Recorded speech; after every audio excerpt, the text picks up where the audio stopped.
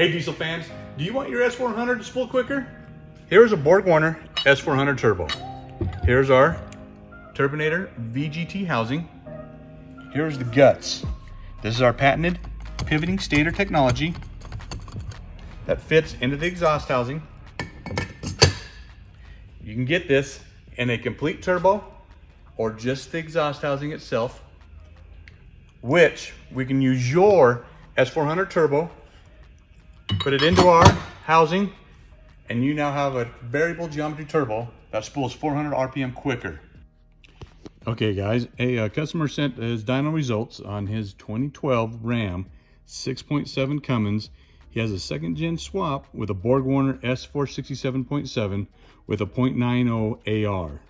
This graph shows the comparison of before and after our customer adds the Turbonator VGT housing to his S400 Turbo. The dotted lines here reflect the horsepower and the solid lines represent the torque differences. The blue lines show his BorgWarner S467. The red lines show after adding our Turbonator VGT housing. Okay, I've added some measurements here on the graph as you'll see to help you better understand the comparison. Notice overall that the VGT at the peak did have 18 more horsepower overall. But the big difference is down in the lower end. The biggest difference was with the VGT at 1865 RPMs, it had 312 horsepower more. The only change he made was adding the VGT housing to his BorgWarner S467. 1865 RPMs, it had 312 horsepower more. Mind you, this performance is in the drivable range, where you're driving, towing, or during the shift points. Also, if you notice, the dyno appears to not record until 1500 RPMs. At 1500 RPMs, the Turbonator is 150 horsepower greater than just the standard BorgWarner S467. So if we were to extend this graph back, you would see that the Turbonator would make decent horsepower between 1200 and 1300 RPMs. Now looking at the torque numbers, the max torque difference of 873 foot-pounds happened at 1847 RPMs. At 1600 RPMs, which is where about you'd be driving at, there was 640 foot-pounds difference between the regular S467. That's huge. Here you'll see I matched where the dyno started recording the horsepower you'll see the Turbonator was making 200 horsepower at 1500 RPMs.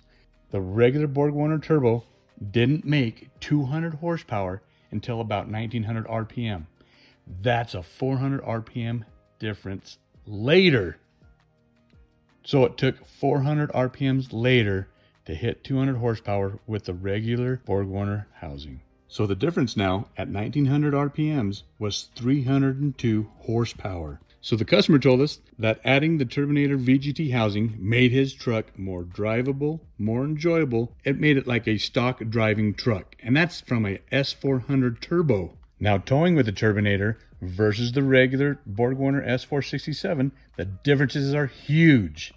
With a regular S400, you would be constantly downshifting because the horsepower is so low below 1900 RPM and forget about pulling grades because you'll be downshifting all the time with the S400. Where with the Turbonator, you will never have to downshift pulling a grade or a load up and over. If these two turbos were racing, the one with the Turbonator would have left the other one in the dust before his turbo would have even lit.